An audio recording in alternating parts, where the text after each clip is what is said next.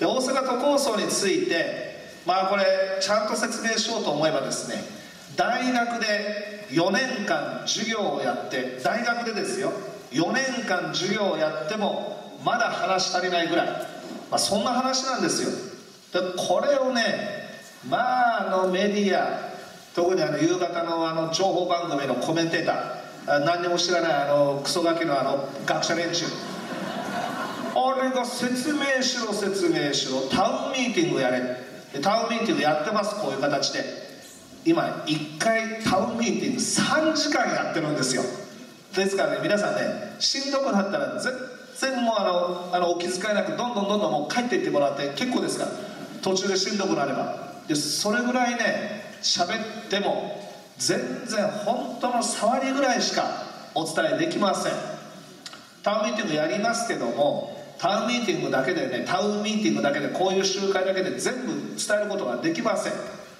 ですからこれからまた資料をねきちんと整理をして分かりやすいものにして辻先生辻先生や中村先生からねしっかりといろんなことに、えー、ご質問にお答えしていこうと思いますから、まあ、今日は本当の触りの部分だと思ってください。でもこれを聞いていただいたらね僕はやっぱりこれ進めるべきだと特に西成の方は思ってくださると僕は確信しています。大阪都構想について世論調査いろいろやってますけどもね大体新聞もテレビも学者もコメンテーターも大阪都構想のことについて誰もちゃんと説明しない。説明しない中で賛否を問うてまだ賛成の方が上なんです。これ僕はね市民の皆さんが本当にご賢明だなと。賢明だなというふうに思ってます。なぜかといえば今の今の大阪市役所のまんまだったらダメだなと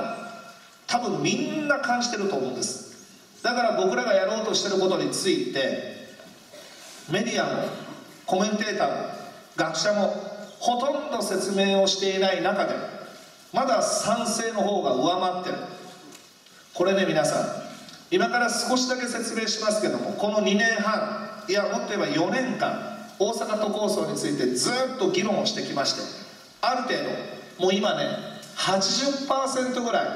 大阪都構想の設計図新しい大阪がこうなるというね設計図がもう80%ぐらいできてるんです。これ100%に完成させて大阪市民の皆さんにきちっと説明すればね絶対に賛成の方が上回ると僕は自信を持ってます。まず大阪都構想というものは一言で言えばね西成を本当に変える最後のラストチャンスだと思ってますよ。あの自分でパネルを全部用意しますからね。まずこれ見てください。皆さんお手元にこの資料ありますかね？えー、区割り案見てください。お手元にあります。資料2というふうに打ってます。資料に売ってます。